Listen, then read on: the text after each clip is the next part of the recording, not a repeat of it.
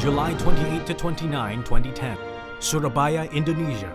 The ASEAN senior officials, ASEAN Committee of Permanent Representatives, senior officials of ASEAN sectoral bodies related to maritime from all ASEAN member states, and the ASEAN Secretariat graced the first ASEAN Maritime Forum.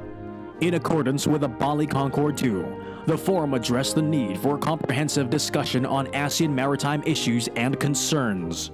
The establishment is also one of the important action lines as stipulated in the ASEAN Political Security Community, or APSC, blueprint. The inaugural meeting discussed cross-cutting matters related to maritime, such as topics about connectivity, maritime security problems, and search and rescue to assist persons and vessels in distress at sea.